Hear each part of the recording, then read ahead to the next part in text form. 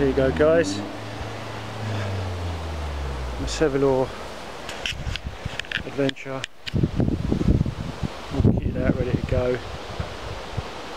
This is the first time it's on film, so I've uh, done a leash, like Mine Wiseman, AK Maverick Outdoors done. And what I've also done, got the day sack in there. Um, it's just a Monroe, and I've got a paracord attached there, and it just goes under the clip there, so that's secured. Everything's in a dry bag. If you want to check out that, that is it's pretty much the same as Lone Wolf's channel. And uh, I'm gonna go with a GoPro today. I put did put one video up and then took it down again because it was just the quality was bad, and it's um, basically you need to put it on a proper setting. But this is where I am. Look at that, it's gorgeous. Someone just fishing over the other side of that boat. Back to there. Um, literally parked just over there. Let's uh, crack on and see how we get on. Right, see you in a bit.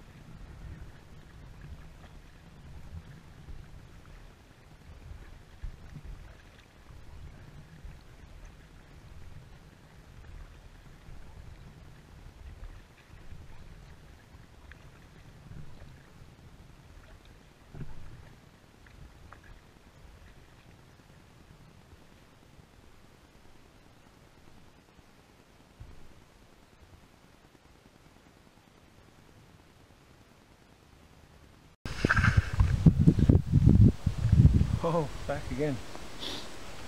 It's uh, just pulled out under this tree, a bit of shade. Just um, you can see it. Just lash that off to there. It's just the leash to the paddles, so I don't get pushed about when the boats come past or the breeze. I'll have a brew. It's certainly heating up now. Where is it? It's coming up. It's 25 past 12. See them swans in the background? All chowing down. What a lovely place. See? Very nice. I'll have this.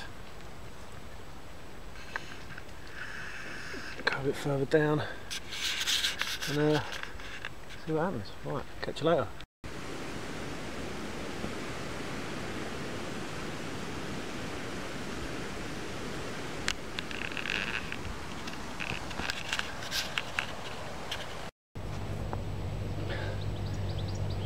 One thing which is all I've had this a while now I'm not actually using it. I'm like what maybe 14 stone?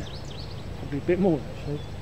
And I've always wondered because these are not life jackets just a buoyancy aid what they're like.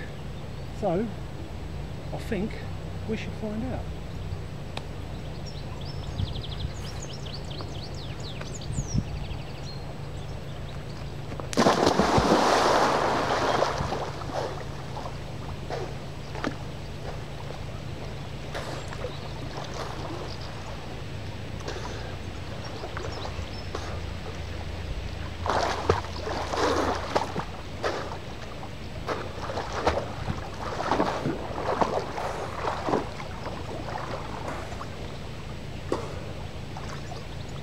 very refreshing.